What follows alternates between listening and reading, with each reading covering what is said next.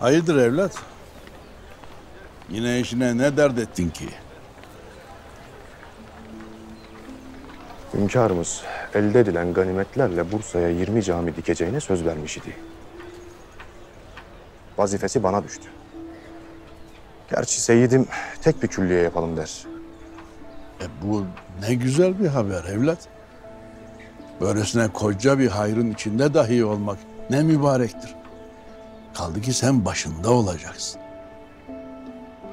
Yani bunu içine niye dert edersin?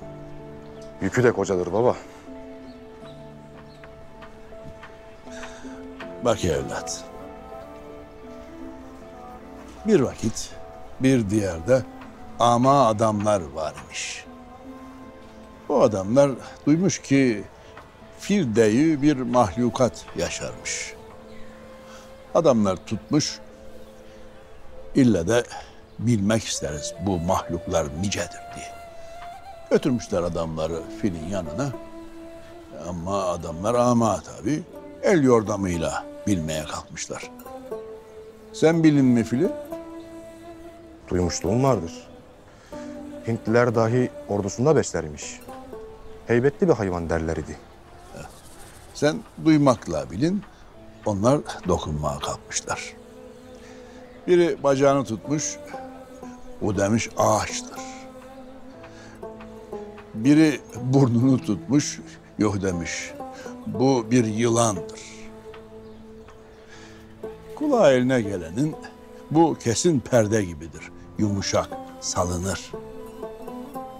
Karnı tutanınsa duvar gibi olduğundan şüphesi yok bütününü bilmeye kadir olan da yok.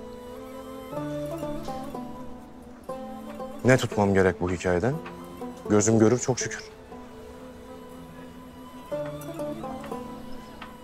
Yükümün büyüklüğünden dersin bu kıssayı. Senin vazifen ulu bir cami, bir külliye dikmektir evlat. İyi tut derim nereden nasıl göründüğünü. Yekpare görmek herkese nasip olmaz.